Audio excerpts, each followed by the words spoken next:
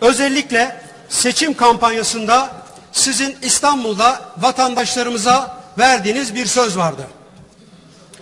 Şimdi şimdi siz değerli meclis üyelerinin ve bizleri ekranları başında izleyen vatandaşlarımın önünde bir kez daha sormak istiyorum.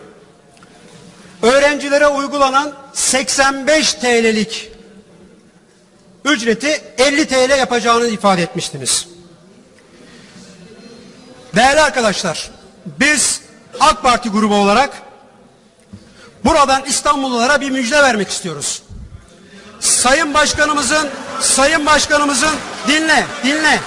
Sayın Başkanımızın şimdi şimdi siz Arkadaşlar, siz müsaade edin. bakın değerli arkadaşlar Arkadaşlar Siz- konuşmacı sözünü bitirsin siz lütfen. iktisat ve hesap bilmediğiniz için böyle böyle seçim döneminde bu kampanyaları çıkıp anlatıyorsunuz. İstanbul halkına verdiğiniz bu sözü tutacaksınız. Biz de bunun takipçisi olacağız.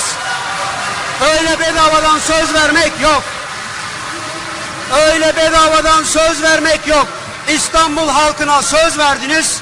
Hatta hatta değerli arkadaşlar biz AK Parti grubu olarak müsaade edin. Biz AK Parti grubu olarak Sayın Başkanımızın vermiş olduğu sözü 50 TL değil. Önümüzdeki önümüzdeki önümüzdeki Mayıs meclisinde 40 TL olarak bu meclise getireceğimizi de buradan ifade etmek isterim. Hadi yapın da görelim. Hadi yapın da görelim. Hadi yapın da görelim. Sayın Başkan, değerli meclis arkadaşlarım. Burada, burada dinlemesini öğrenin. Dinlemesini öğren. Biz sizi dinleyeceğiz. Dinlemesini öğrenin.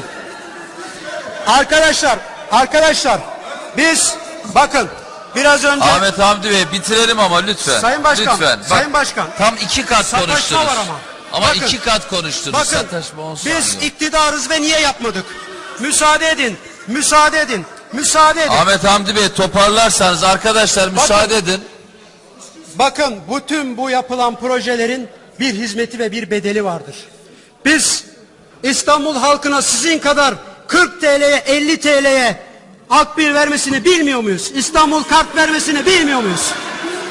Hadi sözünüzü yerine getirin. de- ensonhaber.com